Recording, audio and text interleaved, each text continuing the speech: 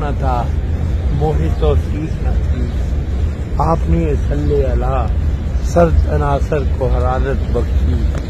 अब्र खुर्शीद कमर रोशनी फूल सदा अमजद इस्लाम अमजद गुजश्ता रोज हार्ट अटैक के बायस दुनिया फानी से कूच कर गए। उनके इंतकाल की खबर जंगल में आग की तरह फैली थी। अमजद इस्लाम अमजद को सैकड़ों सोगवारों की मौजूदगी में मियानी साहब कब्रिस्तान में सुपुर्द खाक कर दिया गया। अमजद इस्लाम की वफात पर उनके करीबी दोस्त और साथी उन्हें खुश नसीब और जन्नती कहते नज़र आए, क्योंकि वो मौत से चंद दिन पहले रोजा रसूल वसल्लम पर हाजिरी देकर आए थे, जहाँ उन्होंने बारगाह रिसालत में कलाम भी पेश किया। रोजा रसूल पर अमजद इस्लाम के क्या जज्बात थे? किस तरह उनकी आँखें आंसुओं से तर दिखाई दी? उनकी वफात पर लिटरेरी फेस्टिवल इंतजामिया ने किस तरह बेहिसी का मुजाहरा किया? ये सब हम बताएँगे आज की इस वीडियो में। हाजते कौन मकान? मकसद नोए वतन मुझ पे भी एक नज़र। मुझको भी कभी तेरे होने। का मारूफ शायर अदीब और ड्रामा नवीस समजद इस्लाम जुमे के रोज 78 साल की उम्र में दिल का दौरा पड़ने के सबब इंतकाल कर गए थे। उनके इंतकाल पर पूरी दुनिया में मौजूद मद्दा सदमे से दो चार दिखाई दिए। पाकिस्तान में भी सो की फजा कायम रही। सोशल और मेन स्ट्रीम मीडिया पर उन्हें याद किया जाता रहा और उनकी खिदमत पर रोशनी डाली गई। ज़िंदगी के मुख्तलिफ़ शोबा ज़िंदगी से ताल्लुक रखने वाली अहम शख्सियात ने अमजद इस्लाम को सुनहरे अल्फाज में खराज तहसीन पेश करते हुए उनके दराजात की बुलंदी के लिए दुआ की। अमजद इस्लाम के अचानक इंतकाल की खबर सुनकर किसी को यकीन इसलिए नहीं आया क्योंकि वो किसी बीमारी में मुब्तला नहीं थे। न ही वो अस्पताल या घर में जेर इलाज थे, जिसकी वजह से उनकी हालत खराब हो। वो तो बिल्कुल ठीक और सेहतमंद थे। अलबत्ता उन्हें घुटनों का मसला था, जिसकी वजह से उन्हें चलने फिरने में दुश्वारी का सामना था। वो बिल्कुल ठीक ठाक थे और तमाम तर उमूर बेहतर तरीके से सर अंजाम दे रहे थे। अमजद इस्लाम ने वफात से पाँच दिन पहले रोजाए रसूल पर हाजिरी की सादत हासिल की और मस्जिद नबी में अपना कलाम भी पेश किया।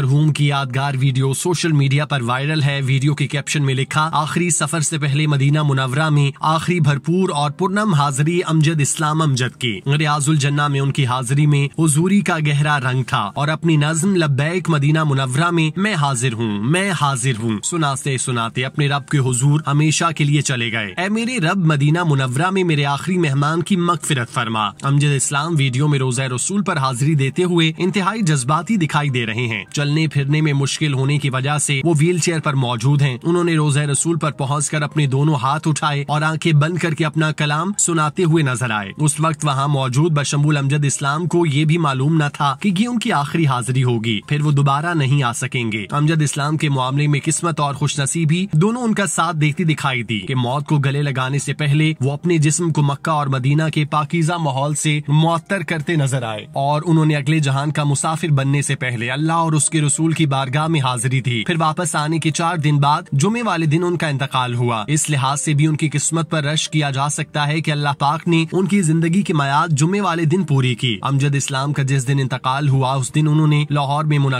लिटरेरी फेस्टिवल में शिरकत के लिए जाना था, जिसके फ्लैक्स और पोस्टर पूरे लाहौर में लगाए गए थे और उन पर अमजद इस्लाम की तस्वीर भी लगाई गई ताकि लोग उन्हें सुनने के लिए फेस्टिवल में शिरकत कर सके, क्यूँकी उनकी वसी ऑडियंस थी और उन्हें अंगेज करने के लिए अमजद इस्लाम की लिटरेरी फेस्टिवल में शिरकत के पोस्टर लगाए गए। उन्होंने जुमे वाले दिन अदबी फेस्टिवल का हिस्सा बनना था, जिसकी तमाम तर तैयारियाँ मुकम्मल थी। इस हवाले ऐसी इंतज़ाम को हतमी शक्ल दे दी गई, लेकिन एन वक्त पर उनके इंतकाल की खबर सामने आई। अमजद इस्लाम की सारी ज़िंदगी मुशायरों में शिरकत करते गुजरी, तहम वो अपनी ज़िंदगी के आखिरी मुशायरे में शिरकत करने ऐसी चंद घंटे पहले दूसरे जहाँ कूच कर गए। अमजद इस्लाम अमजद, चूँकि अदबी फेस्टिवल की शुरा में ऐसी एक थे, इसके अलावा वो अदबी दुनिया का बहुत ही मोतबर और बड़ा नाम थे। तो उनके इंतकाल पर फेस्टिवल में शरीक, सीनियर शख्सियात ने इंतजामिया से मुतालबा किया कि अमजद इस्लाम के इंतकाल पर फेस्टिवल को मुलतवी किया जाए, क्योंकि उनके शहर में होते हुए इस फेस्टिवल को जारी रखना मुनासिब नहीं। ये अमजद इस्लाम की तोहन के मुतरदिफ होगा की हम उनके इंतकाल पर इस तकरीब को जारी रखें। देखा जाए तो ये मुतालबा हर लिहाज से मौजू तरीन था। अमजद इस्लाम के फनी कद काट के बिल्कुल शायान शान था, लेकिन कराची लिटरेरी फेस्टिवल के रूहे रवा अहमद शाह ने लाहौर में फेस्टिवल को मुलतवी करने से इनकार कर दिया, जिस पर अदबी शख्सियात की जानब से नाराज़गी का इजहार किया गया। इस हवाले से बहुत से शायरों ने अपने ख्याल का इजहार किया, जिनमें से फरत अब्बास शाह भी शामिल हैं। उन्होंने अहमद शाह को तनकीद का निशाना बनाते हुए लिखा, कराची लिटरेरी फेस्टिवल के रूहे रवा, अहमद शाह ने लाहौर में फेस्टिवल को मुलतवी करने से इनकार कर दिया। ताजियती रेफरेंस की आड़ में हर तरह का शुगल मेला जारी रखने का फैसला, कराची में शायर अदीबों के जनाजों पर मनाए जाने वाला लिटरेरी फेस्टिवल लाहौर में अमजद इस्लाम के जनाजे पर इनका पजीर हुआ। उर्दू अदब की रिवायत में एक और रिवायत का इजाफा, अहमद शाह जिंदाबाद फेस्टिवल में शरीक, टोले पाइंदाबाद अमजद इस्लाम के बगैर अदबी फेस्टिवल का इनका तो होगा, लेकिन उसमें वो पहली सी रौनक और चमक देखने को नहीं मिलेगी, क्योंकि इस फेस्टिवल को चार चाँद लगाने वाला इस मेले को छोड़कर जा चुका। अब इस मेले में सिर्फ़ उसकी यादें और बातें होंगी, जिससे उन्हें ताहयात याद रखा जाएगा। शायर, ड्रामा निगार और नकाद की हैसियत से शोहरत हासिल करने वाले अमजद इस्लाम चार अगस्त उन्नीस को लाहौर में पैदा हुए। उन्होंने उन्नीस